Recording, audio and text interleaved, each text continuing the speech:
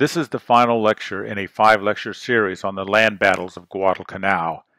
This lecture will focus on the last attempt by the Imperial Japanese Navy to reinforce the beleaguered Japanese garrison on Guadalcanal for a fourth attempt to retake Henderson Field and the subsequent Japanese evacuation in February 1943. I will conclude this lecture with a summary of the losses to each side and a description of the strategic situation in the Southwest Pacific Theater following the American victory at Guadalcanal. I would first like to summarize the three Japanese attempts to retake Henderson Field. The August attempt was the Battle of the Tenaru, which resulted in the annihilation of the Ichiki detachment, nearly an entire battalion. The September attempt was the Battle of Bloody Ridge, and it too failed. The October attempt was the Battle of Henderson Field, and it also failed. The Japanese army planned another attack for November to try yet again to retake Henderson Field. For this they would need additional reinforcements. They asked the Navy for help. Admiral Yamamoto provided 11 large transport ships to carry 10,000 Army troops from the 38th Infantry Division, their ammunition, food, and heavy equipment from Rabaul to Guadalcanal.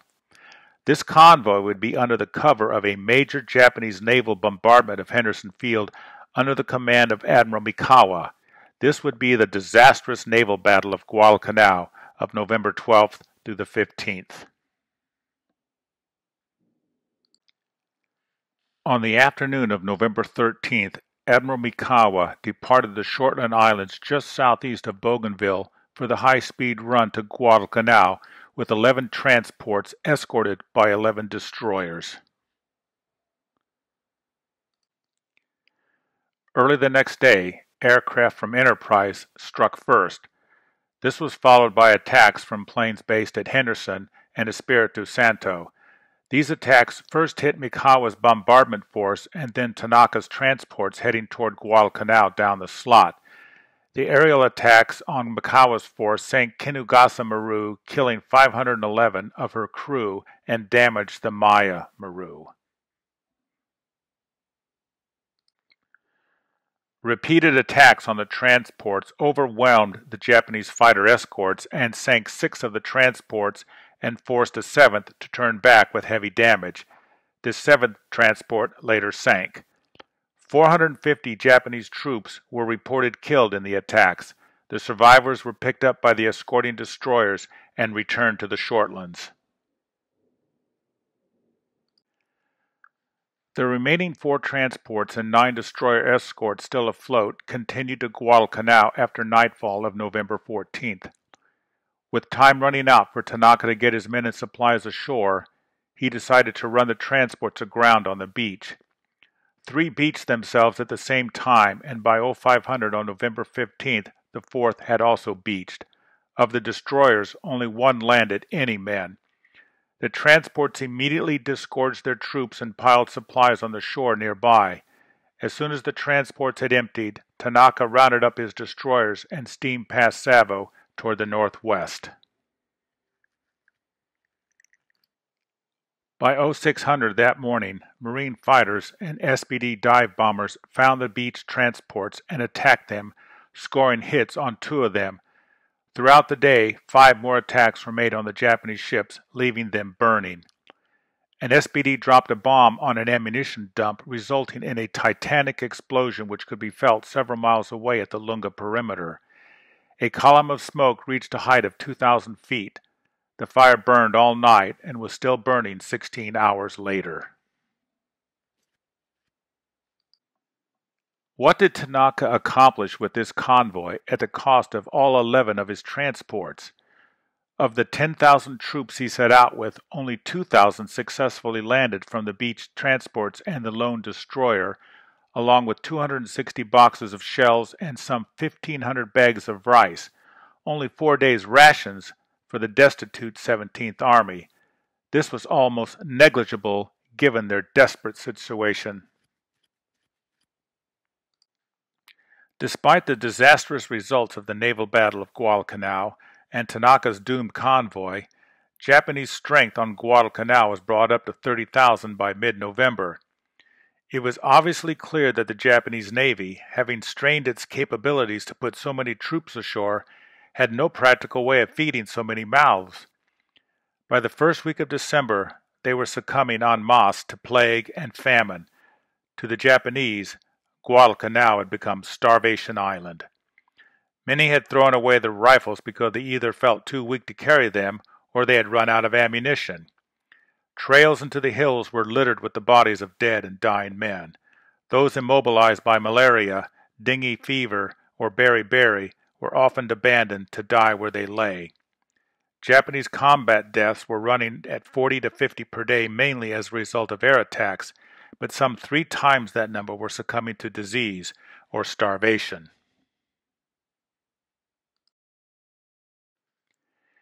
A new supply tactic was urgently needed. Tanaka came up with the drum method. Using high-speed destroyers, he made nightly runs down the slot and dropped off hundreds of steel drums filled with food and other supplies. On December 3rd, 10 destroyers dropped 1,500 supply drums off Cape Esperance. Unfortunately for the starving Japanese, only about 300 reached them.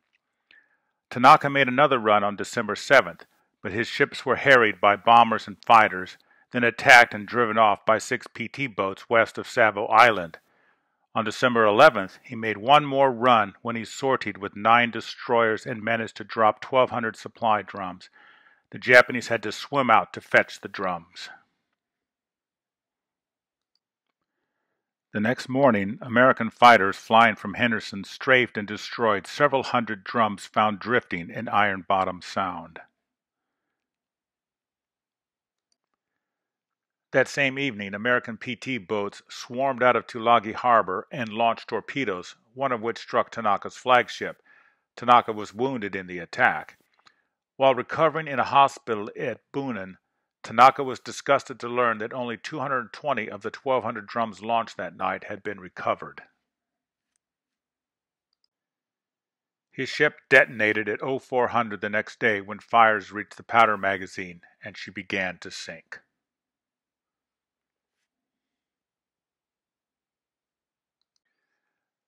While convalescing at Buin, he also learned that Admiral Yamamoto had finally decided that the cost of resupply missions was too great and had to be suspended. Yamamoto ordered Tanaka to begin taking supplies not to Guadalcanal, but to New Georgia to build a base at Munda, whose position had become newly important in the failure of the Japanese 17th Army to mount the expected offensive at New Guinea and to retake Guadalcanal. Here is a map indicating where Munda is located on the southwest coast of New Georgia. This would be the main Japanese airfield after they abandoned Guadalcanal and the next target for the Allies. The Imperial Japanese Army and Navy never really got along, often hiding from each other their own military disasters. They would each blame the other for the loss of Guadalcanal. Eventually, with the intervention of Emperor Hirohito, they decided to abandon Guadalcanal and to try to evacuate the remaining Japanese army still there before they starved to death. Thus was put into place Operation Ke, the secret evacuation of the remnants of the Japanese 17th Army starving and dying on Guadalcanal. On December 9th, General Vandegrift and the exhausted 1st Marine Division was relieved and sent to Melbourne, Australia for R&R. They were replaced by Major General Alexander Patch of the 14th Corps composed of the 25th Infantry Division and the 2nd Marine Division. General Patch would have the task of mopping up Guadalcanal. This was the tactical situation on Guadalcanal in January 1943. The Gifu had been invested by the 35th Infantry, and the perimeter had been pushed beyond the western side of the Matanikau. The Japanese no longer threatened Henderson Field. As the Japanese grew weaker and weaker, the Americans grew stronger and stronger. The Japanese ceased all offensive action in the lower Solomons. General Patch was unaware of the Japanese intention to evacuate. Radio traffic analysis misled American intelligence to believe that the Japanese were mounting another naval offensive and troop landing, and the American commanders reacted accordingly. His plan was to clear the Japanese out of Guadalcanal altogether by advancing on a broad front from Point Cruz to Kokumbona. By January 22nd, the Gifu redoubt had been destroyed. At this point, there was no threat to the American left flank. On January 14th, 600 fresh Japanese infantry and an artillery battalion called the Yano Battalion was transported to Guadalcanal by nine destroyers.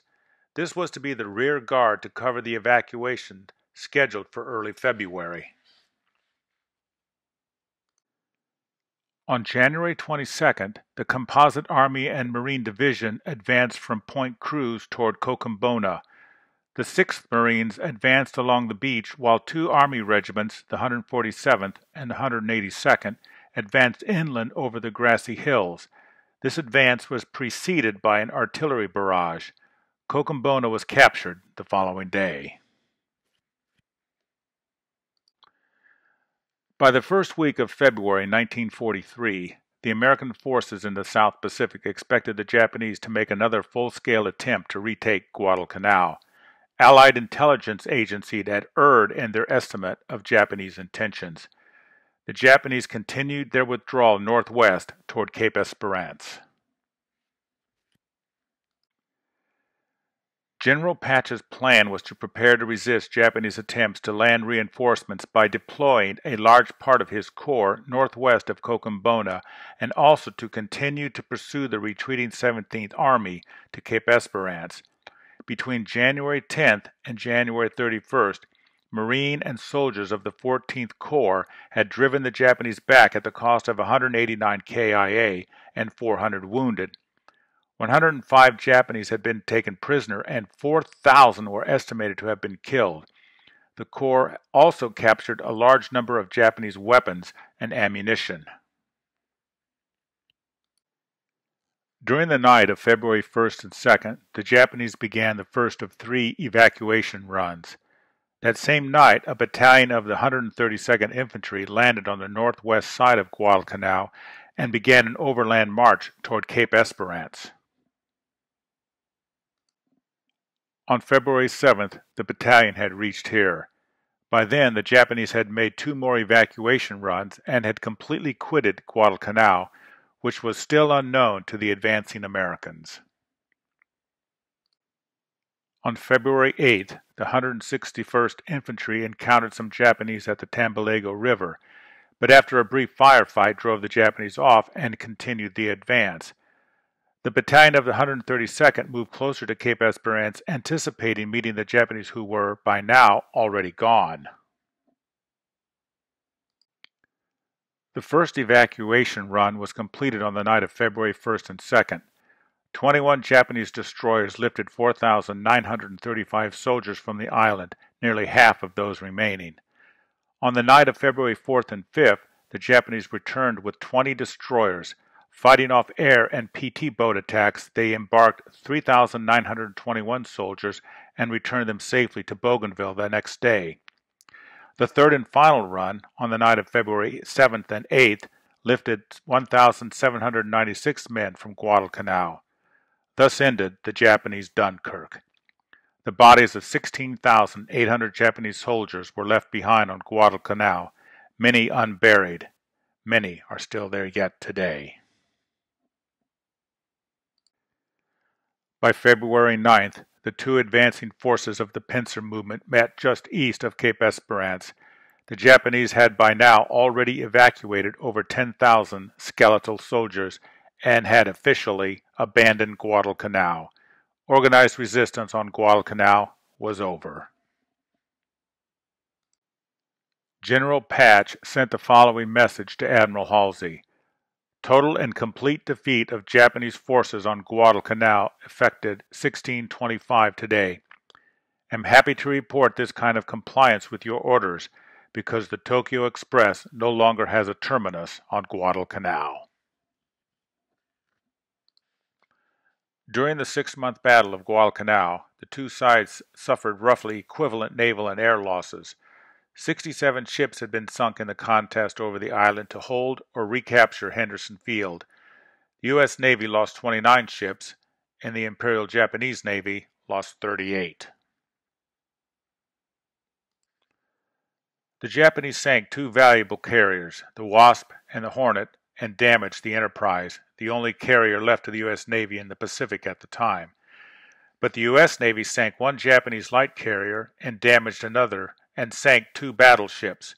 Both sides lost many cruisers, destroyers, and non combatant transport and cargo ships that could not be easily replaced. On several occasions, beginning with the Battle of Savo Island, the Japanese Navy had given proof of its excellence in night surface combat. Their lookouts had exceptionally good eyesight and they had good optical glasses. They also had the best torpedo of any navy at the time, the Long Lance. The early Japanese advantage in nighttime surface combat was soon eclipsed by the U.S. Navy's adroit use of radar for range finding and fire control. By the fall of 1942, an American ship could land its first salvo on an unseen Japanese ship without the benefit of searchlights or flares. This was a valuable technical advantage over the Japanese, and it largely offset the superior skill, training, and torpedo weaponry of the Japanese surface fleet. Each side lost between 600 and 700 aircraft, but the fraction of downed pilots and aircrew who recovered told a different story. The Allies lost about 420 pilots and aircrew in the Solomons, the Japanese more than three times that number. Since the Battle of the Coral Sea in May 1942, Japanese aircrew losses consistently exceeded those of the Allies, often by a wide margin. Replacement pilots coming out of Japan's wartime training pipeline lacked the skill or confidence to carry on the air war effectively. Japan was losing its best pilots at an unsustainable pace. They would pay for this shortcoming in the coming months especially in the Central Pacific campaigns. Most striking was the disproportion in troops lost. The U.S. Army and Marine Corps suffered 5,875 casualties, of whom 1,592 were KIA. The Japanese Army lost two full divisions on the island, the majority of whom were killed rather than wounded and evacuated. 14,700 KIA or MIA and an estimated 9,000 died of disease or starvation. These figures do not include the losses at sea during the seven naval battles fought around Guadalcanal. Losses to the U.S. and Australian Navy exceeded more than 5,000, far more than the losses on the ground defending Henderson Field. The Japanese losses were probably in excess of 4,000. General Kawaguchi, commanding officer in the two failed attempts to retake Henderson Field, said of Guadalcanal after the war, Guadalcanal is the name of the graveyard of the Japanese army. After the war, several Japanese officers offered their unvarnished critiques of the war. Captain Hara judged that the Japanese Navy really lost the war as a result of a series of strategic and tactical blunders by Admiral Yamamoto after Midway. In Hara's opinion, Yamamoto had failed to commit the bulk of his naval power immediately after the Marines' invasion and had instead flung into the area one small fleet unit after another. Running concurrently with the fighting on Guadalcanal, the Imperial Japanese Army was also heavily engaged in a desperate fight in New Guinea to take Port Moresby by an overland route across the Owen Stanley Mountains. They were committed to both operations, New Guinea and Guadalcanal, at the same time. The 1st Marine Division's successful defense of Henderson Field against Japan's 17th Army reduced the number of Japanese troops available for the campaign in New Guinea the Japanese had made the fatal mistake of dividing their forces. The Japanese clearly realized that the Solomons and New Guinea campaigns were integral parts of one whole. Attempting to reinforce Guadalcanal at the expense of New Guinea, the Japanese lost both. Admiral Kondo, commander of the Imperial Navy's Second Fleet, agreed with Hara that Yamamoto should have thrown everything he had at Guadalcanal in August, even if it required abandoning the offensive in New Guinea. He quoted a Japanese proverb He who pursues two hares catches neither. This was the strategic situation in the Southwest Pacific after the Battle of Guadalcanal.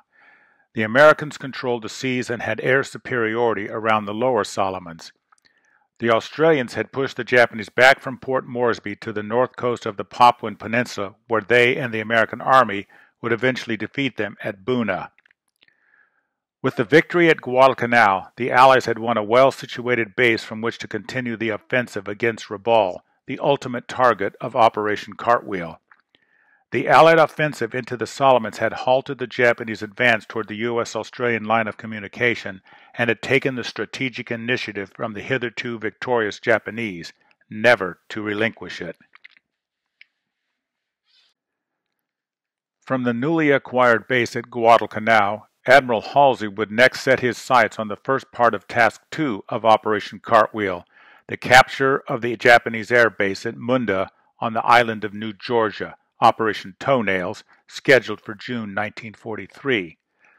Running concurrently with Operation Toenails on New Georgia, General MacArthur would capture the islands of Kiriwina and Woodlark, Operation Chronicle as part of the Southwest Pacific's responsibility of Task 2 of Cartwheel. Japan's fate was sealed at Guadalcanal. Japan would be on the defensive for the rest of the war. Thank you for listening to this five part series on the land battles of Guadalcanal. I hope you will be motivated to continue the study of the Pacific War from my other lectures, which will soon be posted. I hope to see you on Cactus someday on one of my tours of this fascinating battlefield. For more information on my Guadalcanal tour and other tours of the world's battlefields, visit www.valortours.com or call 1 800 842 4504.